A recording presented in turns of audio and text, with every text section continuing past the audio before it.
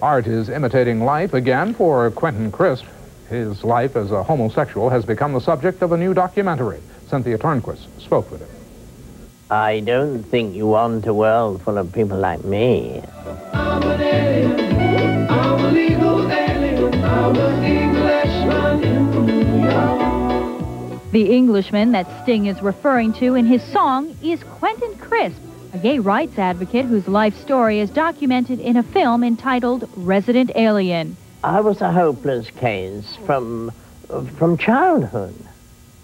Uh, I was waltzing round the house in clothes I'd found in the attic belonging to my mother or my grandmother, saying, Today I am a beautiful princess. In 1931, Became more public about his sexuality, and some members of the public had a violent reaction. When I was young, I couldn't go anywhere safely. Crisp recounted these experiences in the 1968 book, The Naked Civil Servant. In 1975, the book became the basis of a television movie starring John Hurt. After the movie's broadcast, Crisp moved to New York City. The pursuit of success is considered vulgar in England. But here, you're, you don't even have to do something well enough to become known. You can just do fame.